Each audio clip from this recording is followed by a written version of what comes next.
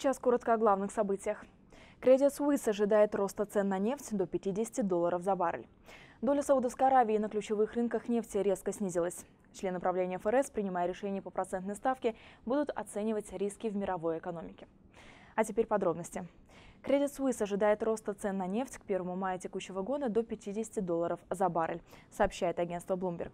Эксперты швейцарского банка полагают, что в 2016 году на мировом рынке нефти будет наблюдаться рост спроса. Этому будет способствовать восстановление экономики в странах Северной Америки и странах Европы. Согласно последним отчетным данным, рост спроса на нефть уже происходит в США, Бразилии, Китае, Индии и Южной Корее. Снижение цен на нефть, произошедшее некоторое время назад, объясняется такими факторами, как теплая погода, падение активности, а также замедление темпов роста экономики в странах развивающегося рынка. Первое Форекс телевидение с 9 утра в прямом эфире. Новости, обзоры и прогнозы финансовых рынков. Макси Маркетс ТВ. Зарабатывай на новостях. Подпишитесь на канал Макси Маркетс ТВ. Будьте в курсе событий. Для подписки перейдите на сайт YouTube по значку в правом нижнем углу видео. Нажмите на красную кнопку «Подписаться». Будьте в курсе событий. Открывайте сделки, зарабатывайте на новостях.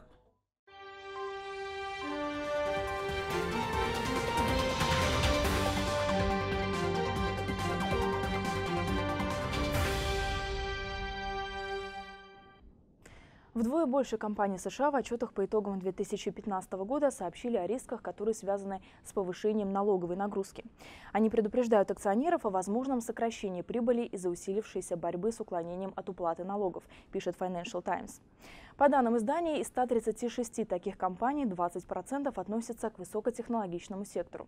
На фоне мер, предпринимаемых правительствами многих стран, чтобы перекрыть возможность ухода от уплаты налогов, структуры, позволявшие ранее максимизировать доходы для многих компаний, становятся причиной лишних трудностей и затрат. Согласно данным Организации экономического развития и сотрудничества, из-за различных схем, в том числе связанных с проводкой прибыли через офшоры, государство теряет до 240 миллиардов долларов налогов. Индекс незавершенных сделок по продаже жилья в США с учетом сезонных колебаний вырос в феврале на 3,5% и составил 109,1 пункта, что стало самым высоким значением индекса за последние 7 месяцев. Об этом сообщила Национальная ассоциация риэлторов NAR. Эксперты прогнозировали рост сделок на 1%. Значение индекса в 100 пунктов указывает на сбалансированный рынок. Главный экономист Лоуренс Юн сказал, после некоторой волатильности этой зимой последние данные обнадеживают. В прошлом месяце приличное количество покупателей подписало контракты, что было связано с изменением ставок по ипотечным кредитам, которые опустились до самого низкого уровня почти за год, а также сезонным всплеском запасов жилья для продажи.